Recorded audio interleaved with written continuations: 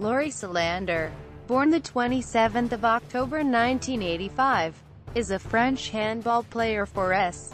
C. M. M. Craiova and the French national team. Individual awards